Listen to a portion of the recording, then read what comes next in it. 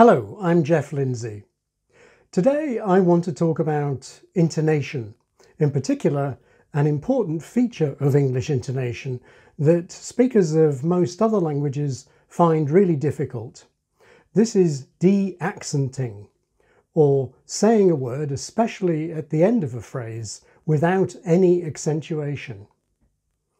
We can see this in compounds, which I mentioned in my previous video, where the second of two words loses its accent. So it's not airport, but airport. It's not Facebook, but Facebook. Not water polo, but water polo. Not press conference, but press conference.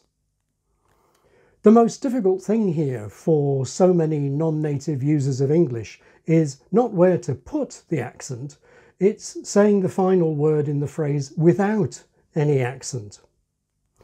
Now, a very important function of English de-accenting is to indicate given information. Given information means an idea that's already in the mind, for example, a word that's just been said.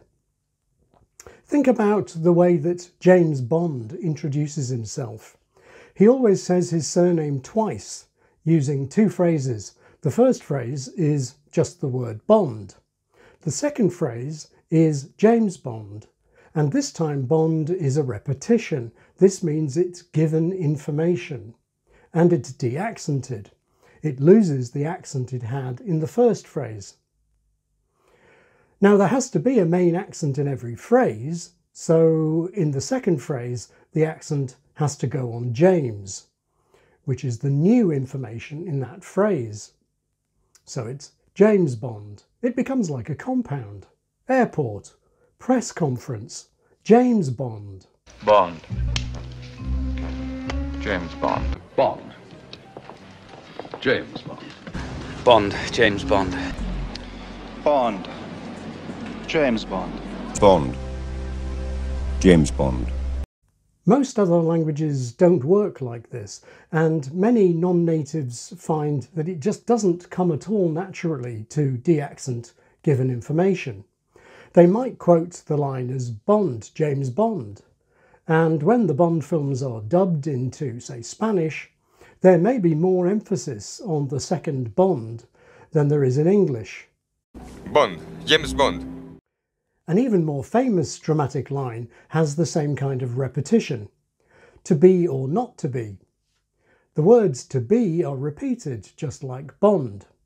Now, this is by far the most famous line in English literature, so actors performing Hamlet often feel an obligation to say the line in some unexpected way. But when English speakers quote this line, we practically always de-accent the repetition, to be or not to be. This normal pattern is the one used by the actor David Tennant. To be or not to be. In Italian, to be or not to be is essere or non essere. If we look online for examples, it comes as no surprise to find that there's usually a nice big accent on the second essere. Essere o non essere. Essere o non essere. Essere o non essere. Essere o non essere. You may recall from my previous video that expressions ending in numbers have the main accent on that number, like MP3, High 5, 007, Apollo 13.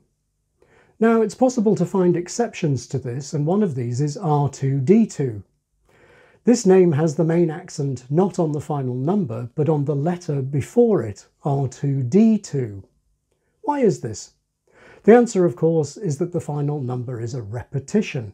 R, then 2, then D, then 2 again. The second 2 is given information, and so de-accented. In this case, there's also a contrast between the two letters, so as well as the de-accenting of the repeated number 2, we also have the accenting of the contrasted letters R2, D2.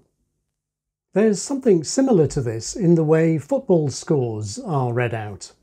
Normally, the score of each team is accented. Arsenal 1, Liverpool 2. But there's an exception to this if the score is a draw. Why? Because the score is repeated. The repetition is given information and so is de-accented. Arsenal 1, Liverpool 1. Listen to this real example from the BBC and remember when the scores are different, both are accented, but when it's a draw, the repetition is de-accented. Manchester City 2, Crystal Palace 3, Newcastle United nil, Fulham nil. So R2D2 is a bit like a football score, but a score that's a draw. R2, D2. I hope you enjoyed this video. See what I did there? This video is given information. It's in the context. It's already on the mind, so I could de-accent it. I hope you enjoyed this video. And if you have any questions about pronunciation or phonetics, please feel free to leave them in the comments section below. Until next time, please take care. Essere o non essere?